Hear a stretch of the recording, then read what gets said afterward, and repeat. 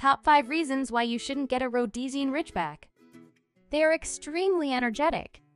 They have a high prey drive. They can be stubborn. They can be destructive when bored. They need to be socialized and trained at a young age.